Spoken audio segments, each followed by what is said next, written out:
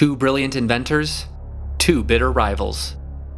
Thomas Edison and Nikola Tesla were two of the 19th century's most influential scientists and businessmen, revolutionizing many key industries at the time, but most notably electricity. Their fierce battle over whose electric current was superior, also known as the War of the Currents, made both of them hate the other. In our modern world, Tesla is widely regarded as the hero of this story, no doubt in part due to the popularity of the electric vehicle that shares his name. Tesla's idealistic approach to science and the mystery surrounding his character has caused many to deify him. Edison, on the other hand, is infamous.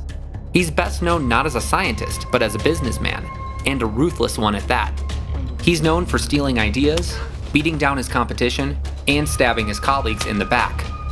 Most people have a vague notion of Tesla and Edison's rivalry, but the details are a little fuzzy. Most people think that Edison stole Tesla's ideas, and those people are wrong. Don't get me wrong, Edison stole plenty of ideas in his day, but not Tesla's, not that we know of. In fact, Edison found Tesla's ideas to be too impractical. Many stories would have you believe that Edison and Tesla knew each other quite well, but that would also be false. This video intends to set the record straight. But before we dive into that, I want to ask you for a big favor. If you could please just like this video and subscribe to our channel, that would really help us out with the YouTube algorithm. Thanks a lot in advance. When Tesla was just starting his career, Edison was already very accomplished. Edison was an inventor, but he didn't think up truly revolutionary ideas. Instead, he tended to make improvements on existing technologies. His first success was the quadruplex telegraph, which he sold for $10,000. This would be worth around $230,000 today. He used that money to start Menlo Park, which was his first laboratory specifically intended for scientific innovation. He employed numerous scientists and inventors in his lab, and because of this, he got a lot of the credit for the inventions that were produced there. Edison received national fame for one specific invention, the phonograph, which, unlike many of his other inventions, was entirely original. Many attribute the invention to Alexander Graham Bell, but in reality, Bell simply improved upon Edison's methods. This might be the first ever recording of Mary Had a Little Lamb, recorded by Edison himself on his original invention. The uh, first words I spoke in the original phonograph, a little piece of practical poetry. Mary had a little lamb, its feet was white as snow, and everywhere that Mary went, the lamb was sure to go.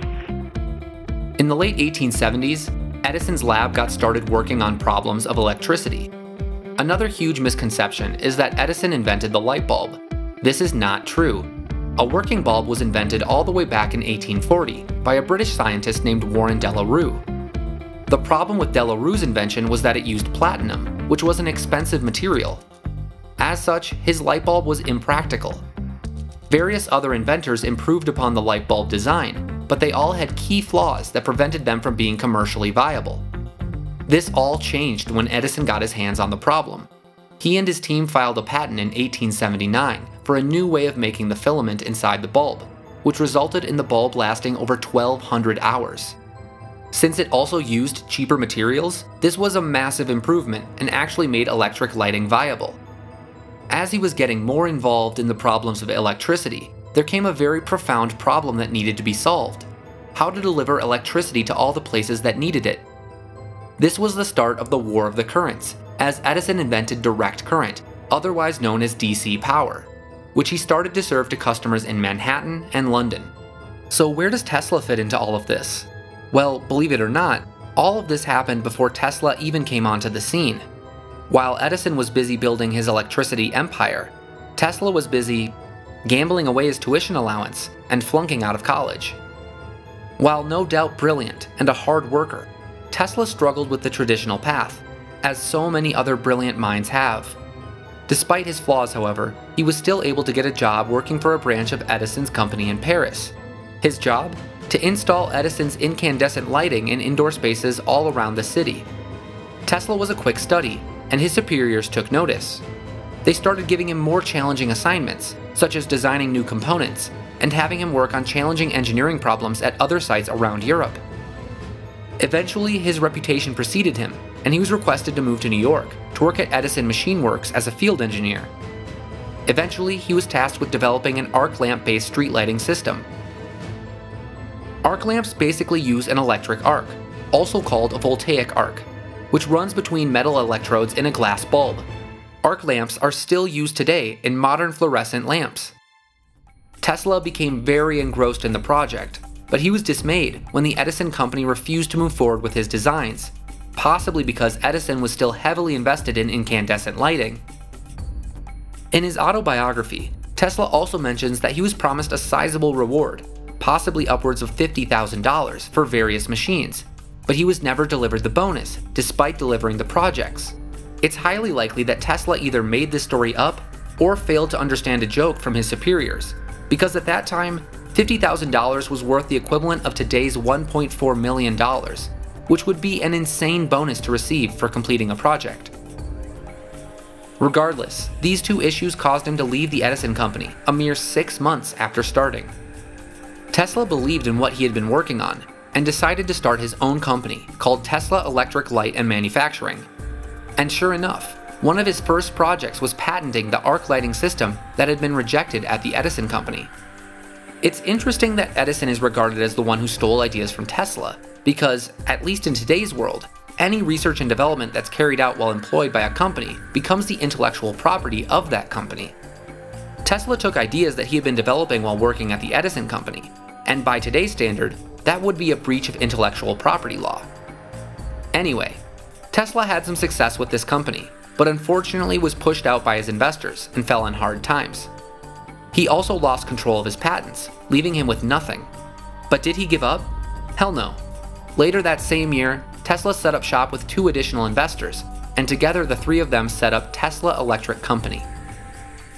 It was here that Tesla started to design and develop his signature invention, an induction motor that ran on alternating current, or AC for short. Up until this point, only direct current had been introduced to the public. This is the type of current that Edison had been working on for years.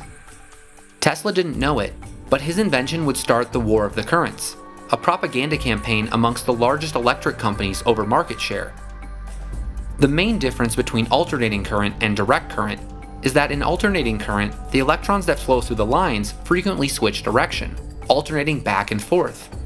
In direct current, the electrons only flow in one direction, alternating current is far superior for two reasons. The first is that there is a considerable loss of energy when the current travels over a long distance. This makes direct current much less efficient. Additionally, when electrons can switch directions, it allows the voltage to change quite cheaply, which is useful because different electric devices might require different voltages to operate most effectively. Once Tesla was able to produce a motor that ran on AC current and publicize it, the major electric companies took notice. The Westinghouse Electric Corporation offered to license Tesla's patent for the technology for $15,000 per year, guaranteed payment, plus other cash payments and royalties. Obviously, Tesla agreed. Westinghouse was Edison's largest competitor, and as soon as they started to advertise the invention, the Edison company started a large disinformation campaign to discredit it Worried that alternating current would cause them to lose contracts and hurt their bottom line, Edison began to publicize that alternating current was dangerous. Some speculate that Edison, who was more of a practical inventor rather than a scientist, couldn't understand the technology and feared it. He even went so far as to allow shoot animals in public to prove that alternating current was not safe.